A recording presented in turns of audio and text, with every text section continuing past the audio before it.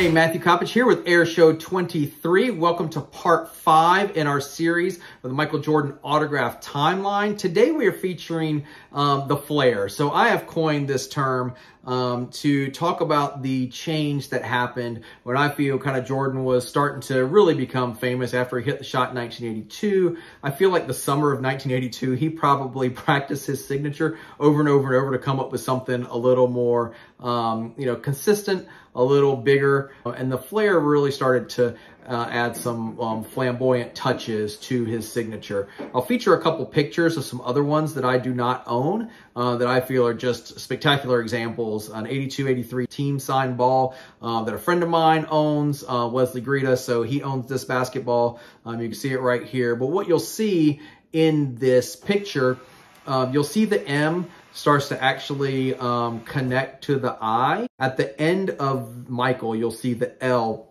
kind of loop around um, that you can see on this signature. So that adds a little flair to this. And then the J is similar, um, but it starts to give a bigger, a bigger loop. Um, the J kind of swoops back up, very similar to the M to the I. The J to the O does the same thing. And then he adds a bigger loop uh, for the D, as you'll see in that signature.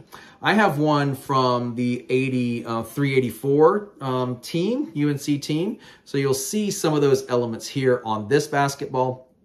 Um, you'll see the M, you'll see the loop connecting here from the M to the I. You'll see definitely the L has that loop there at the end, that little flare that you add. Uh, the J is not nearly as nice as the one that um, I just showed you, but it shows it's got the bigger J loop as you'll see here. And That will progress as we'll see into his rookie signature, uh, the 84 Olympics, and um, kind of on as we kind of go through this timeline that you'll see those features. Again, with the Flare signature, he signed this signature style from about 82, 83 season into kind of his rookie season, where he even comes becomes kind of more flamboyant as he is becoming probably the most famous athlete in the world at that time. So uh, make sure to check us out, Air airshow23.com and give us a follow, subscribe here to our YouTube channel.